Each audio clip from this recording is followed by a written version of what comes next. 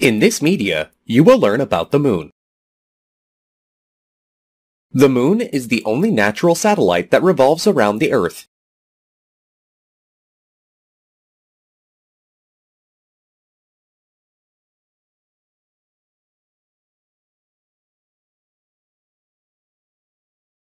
Diameter of the Moon is one-fourth that of Earth. The Moon appears so big because it is the nearest celestial body to the Earth.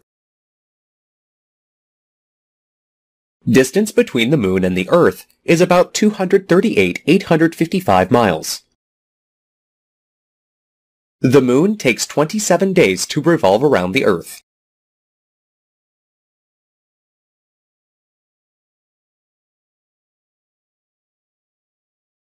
Similarly, the Moon takes 27 days to revolve about its axis.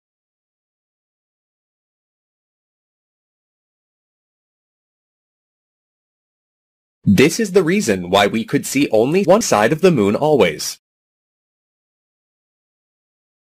There is no air or water in Moon, hence life can't survive in the Moon.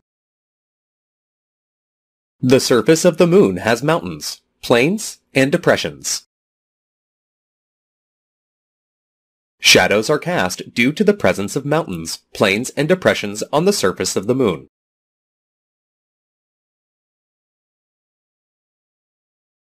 You can see these shadows by looking at the Moon in night on full moon days.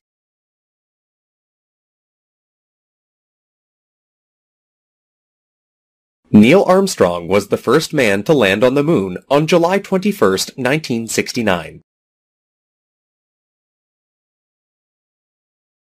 Thus, you have learned about the Moon.